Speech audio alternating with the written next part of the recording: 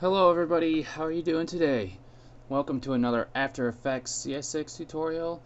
My name is Buddy Blackford and today I want to show you how to put text on a path or a mask path and we can make it goofily shaped like it is right now and you can make it fly across the screen or move along the path. And I'm going to show you how to do that today. So let's get started.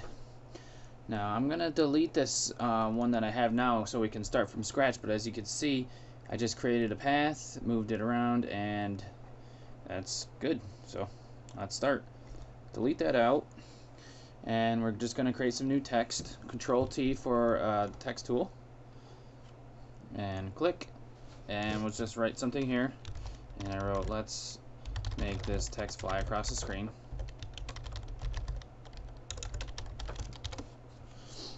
Now what you need to do is click on your text down here in the layer panel and then just um, zoom out so you can have the whole uh, page showing and take your pen tool and just draw a motion path.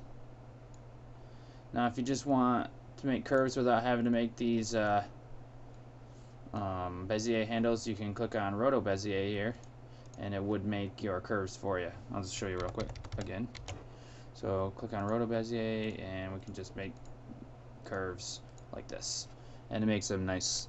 It's a little easier than doing it that way, but I never really use Roto Bezier too much because I don't I like having more control over the curves. So now we have a path on the text layer. So let's come down to the text layer here in our layer panel, twirl down, and we've got text, max, masks, and transform. Well, we want to go to text. So scroll down to text. And now we have this uh, path options here. We want to open that up. We want to choose our path to be our mask that we just created mask 1 and now it's on the path. Well that was easy enough. So now we've got it uh, like in a funky looking uh, shape. So that's how you can make your different shapes. Now say you want the uh, shape to or your text to be in a different part of the shape. Well that's where you come to that's where you come down to here and you go down to the uh, first margin or the last margin and you can move it along here. Now usually I think you usually probably want to hold shift while you're doing this so it goes across the screen a little better. And uh, if you try to do it without holding shift you might come to the edge of the screen especially when you try to go left. You'll you'll be like pretty much forced to like stop when you hit the edge of your uh, monitor. So we got the first margin there. That's how you do that and that's animatable. So we could if we wanted to hit a keyframe here start this before it comes out or when it's off the screen and come in and then reanimate this so it's all the way at the end and then we've got a nice little animation there. Oh, my preview panel's like hidden. There we go. Hopefully this doesn't take forever. There we go. And there you go. You can see it like that. Now I mean that's way too fast. You can't even read it but you get the idea. That's how you animate it. And delete these keyframes so I can show you everything else Let's see, put the margin back in somewhere in the middle. Let's put it at zero, I think. It's probably in the middle.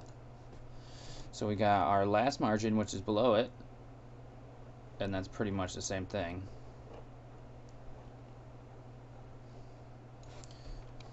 So if we have this here, and then we move this also, they kind of like, they interact with each other a little bit.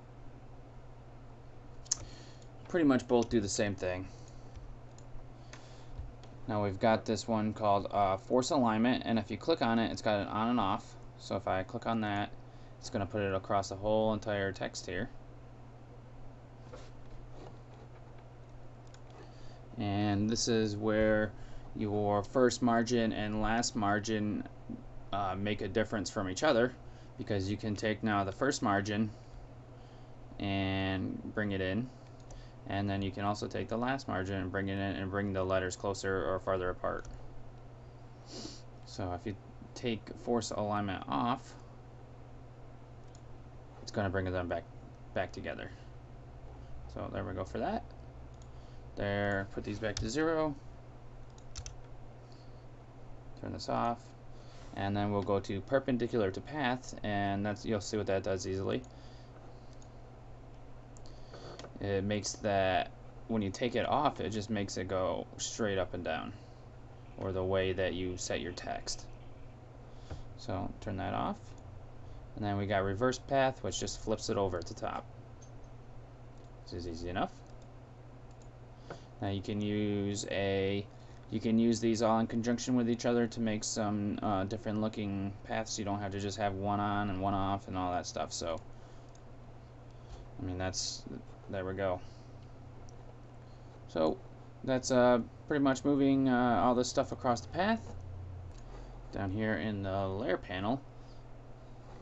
Now you can come up into your comp panel here and you can see these things on the edge and when you put your uh, selection tool over top of them these are the first and the second margins let me flip this uh, back over so we have our margin tools here also and uh, if you click and hold and drag you can uh, edit your margins that way also and this is the end margin as you can see down in the layer panel down here if I move this the the uh, end mar or the last margin there will uh, eh, move uh, the the the property will change. Man, I was fumbling with, with words there. Still am. Jeez.